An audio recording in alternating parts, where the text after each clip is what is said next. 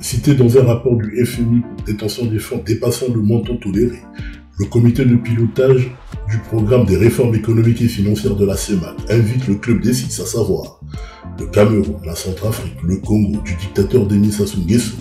le Gabon, la Guinée équatoriale et le Tchad à accélérer le repatriement des fonds publics détenus à l'étranger. Pour avoir dépassé le montant des avoirs tolérés au sein des banques extérieures, les résidents de la CEMAC sont invités à accélérer le processus de rapatriement des fonds publics cachés dans des banques étrangères. Un rapport de la Banque des règlements internationaux, le BRI, soutenu par le FMI, a estimé que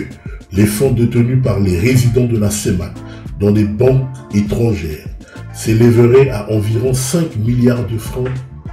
non 5, non, 5 milliards de dollars, donc près de 2897 milliards de francs CFA.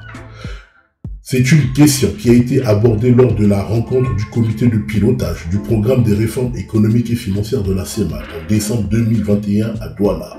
dans la capitale camerounaise. Lors de cette rencontre, le comité de pilotage a demandé aux États de la CEMAC d'accélérer le processus de rapatriement des fonds publics détenus à l'étranger, aussi bien par des États que par des entreprises publiques afin de contribuer à la restitution des réserves de change et de soutenir le financement des économies sous-régionales. Notons qu'il y a déjà deux ans, un rapport du FMI avait encouragé les autorités des pays de la CEMAC sur le phénomène des fonds planqués illégalement à l'étranger. En ce qui concerne la République du Congo, le FMI a pointé le doigt sur la famille du dictateur Denis Sassou Nguesso, qui a multiplié des sociétés écrans dans les paradis fiscaux afin de s'accaparer de la manne pétrolière. Les personnes visées sont Denis Sassou Nguesso, Christelle Sassou Nguesso, Antoinette Sassou Nguesso, Claudia Lembumba Sassou Nguesso, Jean-Jacques Bouya, Gilbert Ondongo, Kalix Ganyongo, Rodolphe Adada. La liste est longue.